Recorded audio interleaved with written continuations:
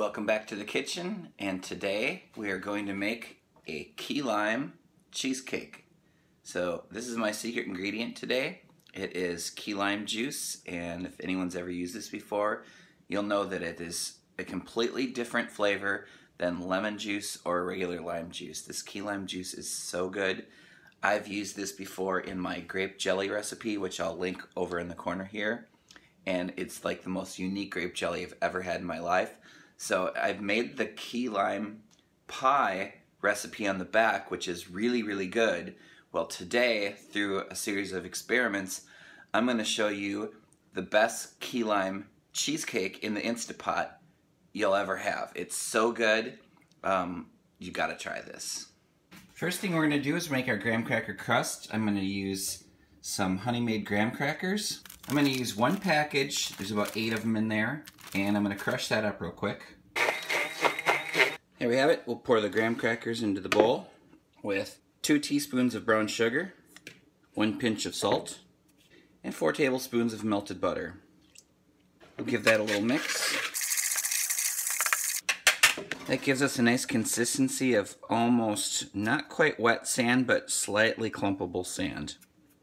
Now I have a six and a half by three inch springform pan. I'm going to remove the bottom and just fold a piece of parchment paper around the edge and replace that back into the springform pan. Just push that down nice and neat. Now I'm going to give it a spray with Pam.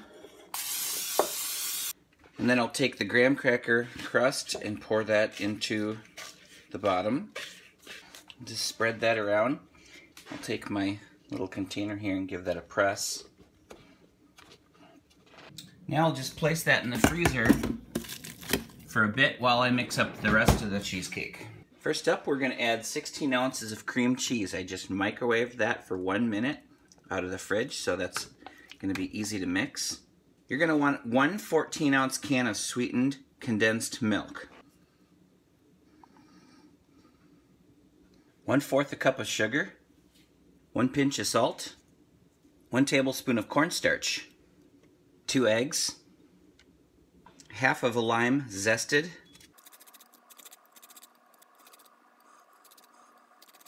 and a half a cup of Key West lime juice, two tablespoons of white flour. Now I'm going to mix that up.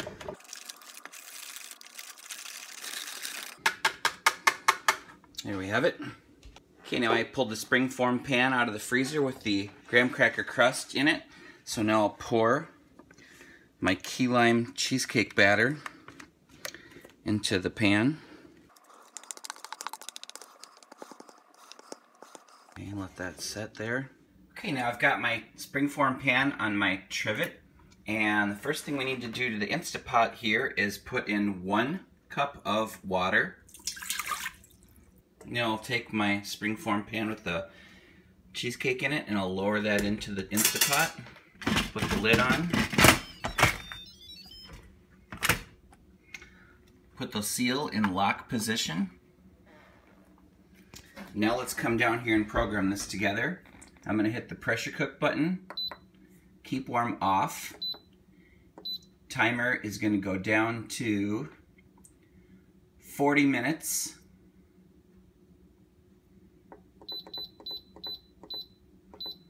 And it is on high pressure. So as soon as that heats up, it's gonna steam the key lime cheesecake for 40 minutes. Now it's on. There we have it, it's all warmed up now. It's gonna steam for 40 minutes. Okay, 40 minutes has passed, and now we're gonna let that sit for 30 minutes before we break the seal on top. Let's blow the seal here because it's been a 30 minute rest and there's no more pressure in there. Pop that off. And then I'll take my trivet and lift that up and out. Now there's a little bit of moisture on here, so I'm just gonna dip a paper towel in here and siphon that off real quick. I prefer this method. I don't really want to use up tin foil when I make a cheesecake. I like how it cooks better when you leave it open and then just blot it like that. It's very easy, no big deal. Nummy num num. All right, now that I blotted the water off and it is all set and cooked, so now I'm gonna put it in the fridge. And now I'm gonna repeat the rules with refrigerating Instapot cheesecakes. It's like good, better, best. Good is four hours in the fridge. Better is eight hours in the fridge. Best is overnight in the fridge. Now we gotta make some whipped cream. We got two cups of heavy whipping cream.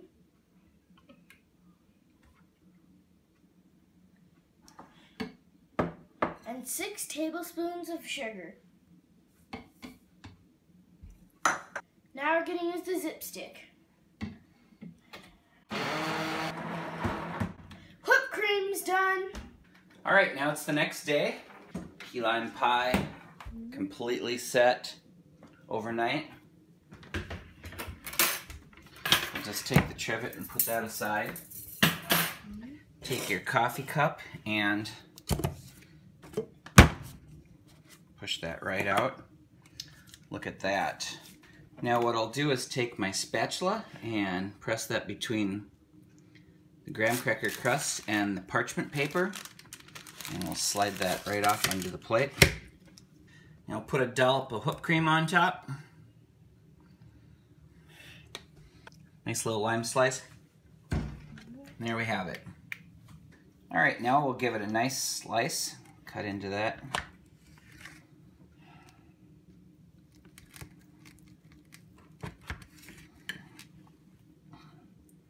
And look at that.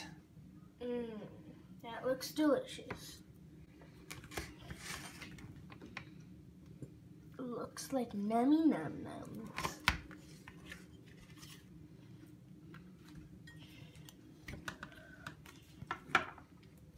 Taste test time. But first, I'm gonna put some whipped cream on mine.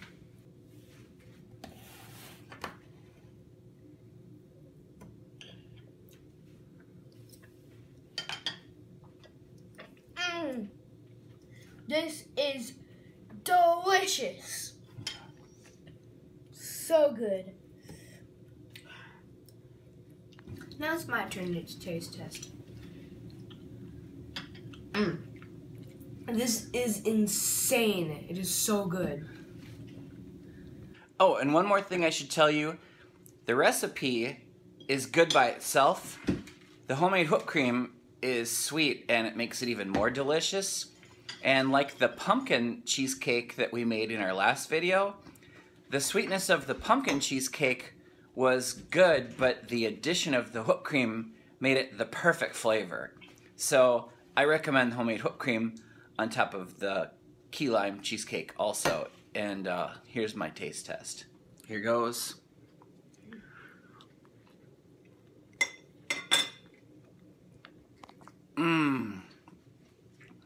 Now that is the perfect key lime cheesecake. Thanks for watching Twin Cities Adventures. Out.